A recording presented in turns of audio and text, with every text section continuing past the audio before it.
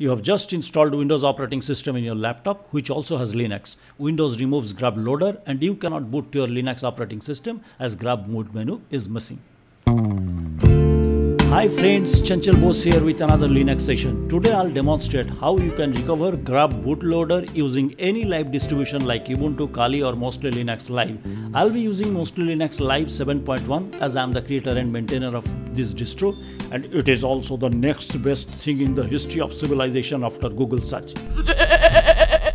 okay, not again. In an earlier session, I have already demonstrated how you can recover CentOS, Red Hat or Scientific Linux installation using their installation DVD or any live DVD. In this video, I am going to demonstrate how you can recover any Linux distribution, Ubuntu, Kali, Red Hat, CentOS or Fedora using this method.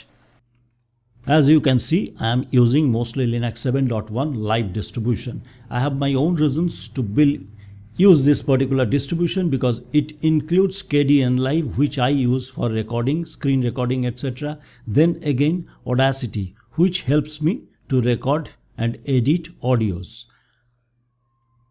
I am going to open a Nautilus file manager window. From there, I am going to find out my Linux installation partition. As you can see, there are large number of partitions because I use a number of Linux.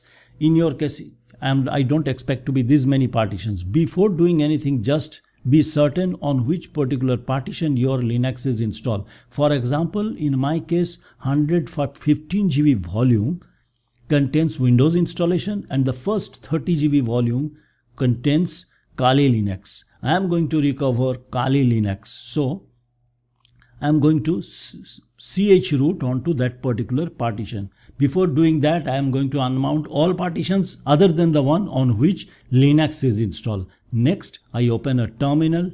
In this terminal, I have I'll become root using this command sudo minus i. And once I have become root, next thing I need to map system slash dev folder to the mounted partitions dev folder. df minus h will show me on which particular partition it has been mounted. In this case, it is slash dev slash sda 10 and it is mounted in run media live user b6 and so on. That is the folder where dev sda 10 containing the Linux partition has been mounted. Next thing, I need to map the system's dev folder to the mounted partitions dev folder. Please, please follow this statement properly. I am mounting, that is mapping the slash dev folder to the mounted partitions dev folder using this command mount minus minus bind slash dev and then run media live user mounted and finally slash dev.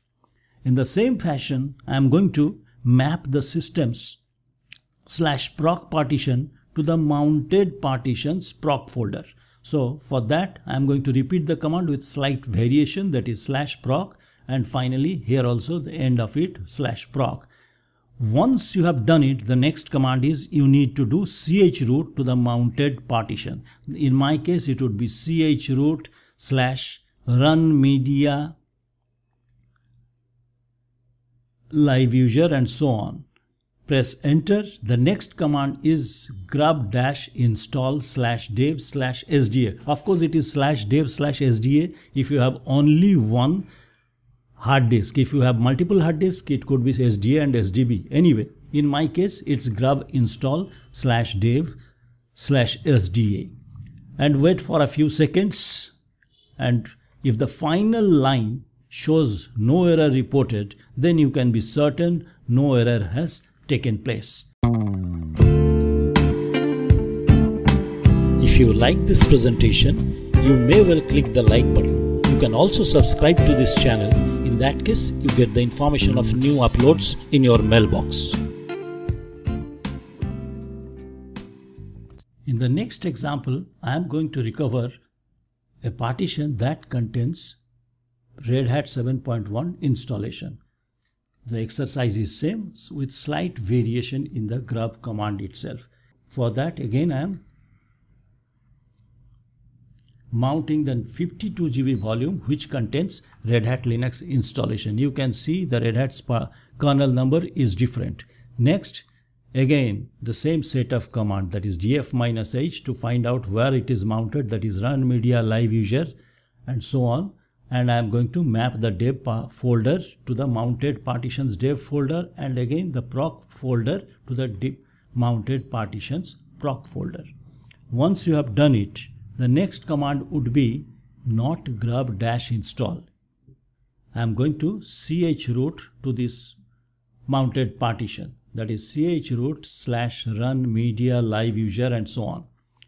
Once you have done it, in Red Hat 7.1 or 7, CentOS 7, Fedora's current version, the command grub has become different. It has become grub2. So you'll be typing grub2 dash install slash dev slash SDA.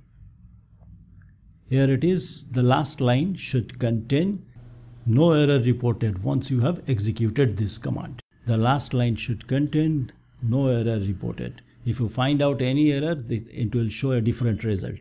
Okay. Now I am going to sing the virtues of Mostly Linux distribution. Mostly Linux 7.1 Live contains majority of the application a desktop user uses. For example, Fedora, Live USB Creator, gparted and other system utilities. In addition to that, you have in Multimedia Exaile, Multimedia Player, Audacity, Sound Editor, Kdenlive, Simple Screen Recorder, and in internet, you will find many other applications like Google Chrome, FileZilla, Transmission. If you like Mostly Linux 7.1, you can download it from the following download link. And finally, thanks for watching.